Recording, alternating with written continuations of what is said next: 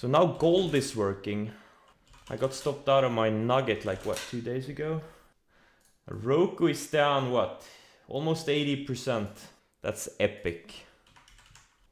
I know people have held on to this stock for their life and totally ignored valuations. But valuations matter. They don't matter until they matter. That's why us traders have it uh, have an easy life. We can just follow sell rules. We don't have to worry about these types of things. We don't have to use our brains as much. I saw some crazy DraftKings numbers. I have to I have to recheck the numbers. But if I read this right, they're losing for every dollar in sales, they're losing $2. Now, I'm not a Warren Buffett, but that doesn't sound good. Yeah, DraftKings getting shredded. Yeah, they're all kind of continuing lower from their um, bear flag type of a thing. Is what's ARK doing? Yeah. I was thinking about shorting ARK yesterday. I, I, I shorted TQQ and Tesla. But in hindsight, maybe I should have done more. Like I, I, I really want to panic, get some panic into the major indices. So we can get a multi-month sustainable bounce. Now we had a little bit of a... Well, the bounce really didn't last for long. It was like a three-day bounce, four-day bounce. But we can, if, we, if the Qs can, you know, go quickly down to like into the 200s, that could potentially set up a multi-month bounce. Yeah, TTD, man. This thing wants to go higher. This thing is not, you know, it actually made a 56% move from the lows. You know, there's there's demand for this thing. You know, something like, you know, Roku or Zoom, right? There's no demand. And then you look at something like TTD. They're holding it up. Yeah, DDOG too. DDOG is another one. Airbnb is another one. It's pulling back now. Hopefully it finds support on the moving averages, goes sideways. China is taking a leg lower, yeah. That's good. Sets up opportunity. This thing set up opportunity. Another leg down to KWEB, get to the mid 20s, low 20s. Would be great. I wonder if Roku could be a mean reversion trade. Yeah, and the funny thing is, if UPST had reported like a week earlier, it would have gone to uh, that 180s area. But now it just reported a few days after before the market started tanking. Tesla and TQQs tanking. Nice. Yeah, GGPI is kind of strong. Damn, I missed Shopify. God damn it, I hesitated. Classic three day, third day mean reversion setup. At least I got Roku. But Roku is not going straight up like um, Shopify. Let's see if this was just another lo uh, higher low attempt in the indices or if this rally is gonna start failing mid late day. UPST, oh, of course it rebounded. This candle may or may not have been me. No comment. no comment. Like we are not gonna get a rally until something happens in the Ukraine situation. There's too much like either the invasion happens or they withdraw their forces. One of those things needs to happen. It's gonna be very choppy. No follow through on anything? Well, there is follow through. There's plenty of follow through on things, but you gotta be quick. And I'm not quick. I don't wanna be quick. But a lot of things had some nice follow through. And you know, I have been more aggressive than I'm usual selling into strength, but it's always like, ah, I should have sold more. That's fine. Congrats to those who got the NU, man. Congrats. This thing is, this thing is, uh, that's what a good breakout looks like. Look at the 60 minute, had a tight range, range expansion, high volume, and yeah, just straight up, straight up. Great job for those who got it.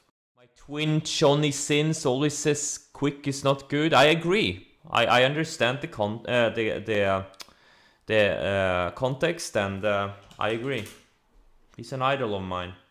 Like, I don't understand how one man can have so many careers. Police officer, firefighter, astronaut, surgeon. It's amazing. It's one of my all-time uh, idols. Pizza guy, uh, man of the people. He's, a, he's scalping futures. I, I, you know, I bet he is. He's one of the brightest minds. Yes. Stepdad. Yeah, he's a stepdad too. Grin setup yesterday. Uh, I, I assume it was a sector EP. I mean, it's decent. If you have a confidence in this EP, sure, it looks good. High volume, range expansion, coming off a long base. What Snap reminds me of? It reminds me of Square. Look how Snap keeps getting rejected at the 50. Looks exactly like Square, how it got rejected off the 20 my top money making patterns, my top money making setups are the mean reversion ones, the supernovas, like Tim Sykes likes to call it. INO is a perfect example of one I made a lot of money on in the past few months. Like here and here, obviously, past two days. Uh, you know, like APT a month or two ago. Um, that's that's you know I don't know if this is not one or two and then the like earnings breakouts like SC uh, when it broke out here had a big run I made decent money on it then uh, let's say uh, was it T-Doc that I owned when it broke out here on earnings these are my top two like earnings breakouts from uh, like long sideways consolidations um, those are my top two and pretty much everything else I do are variations of these two setups. Exactly, shorting when they start going down, when they have blown off and start going down, like backside. Now I wish I, I, I, I was only shorting backside to, unfortunately I, I play with them too much on the front side, but yeah, in theory you should just play the backside, but it's kind of hard to know many times when the backside is when I started making money, uh, when I started making money consistently, I mean, uh, I mean, I don't know, 50k, 30, no, 50k plus.